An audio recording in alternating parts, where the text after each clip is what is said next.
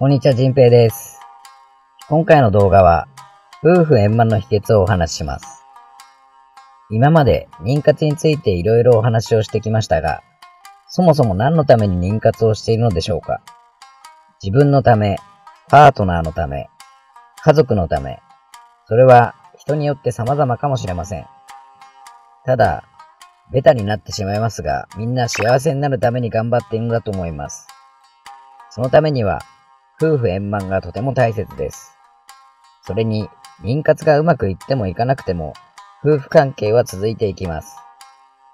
なので、夫婦円満は妊活の第一歩というよりは、第ゼロ歩と言ってもいいかもしれません。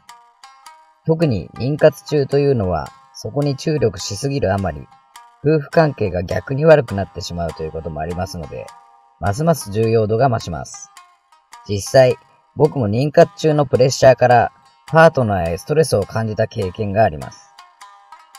前置きが長くなりましたが、結論から言えば、パートナーと仲良くした方が良いに決まっていますので、僕の経験談からになりますが、こんな感じで夫婦仲をなんとか波状せずに乗り切ってきましたよというようなお話をいくつか動画にしたいと思います。ちなみに僕の奥さんはテコンドーをやっていて肉体的にとても強く精神的にも気が強いです。そんな奥さんを怒らせるととんでもないことになります。なのでなんとか円満にやっていくことは僕の生存戦略でもあり日々考え続けるテーマでもあります。さて、第1回目の今回は、独り言を聞け、というお話です。僕の奥さんは、よく独り言を言います。あれリモコンどこだっけ？今日は寒いな。また脱ぎ捨ててる。などなど、よく独り言を言います。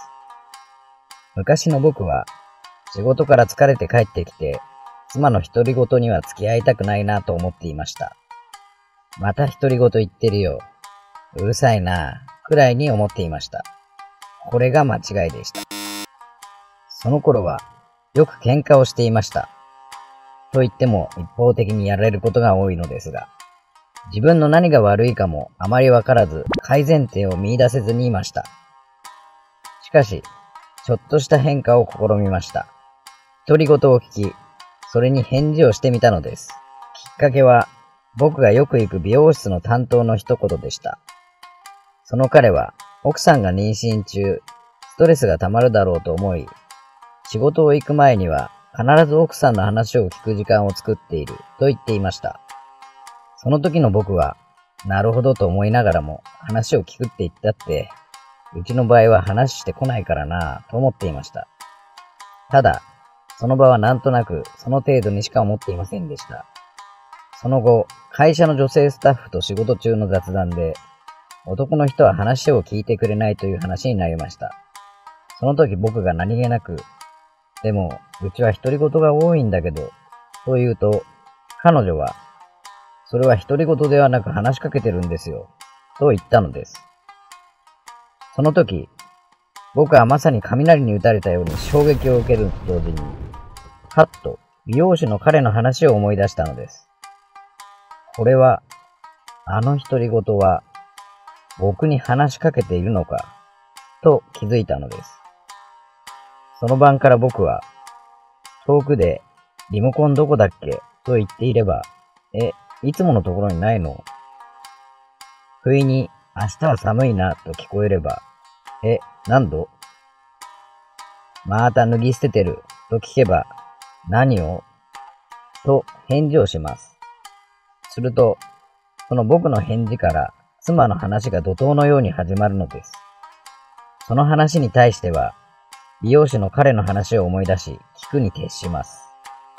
これを続けていった結果、奥さんの機嫌がだいぶ良くなりました。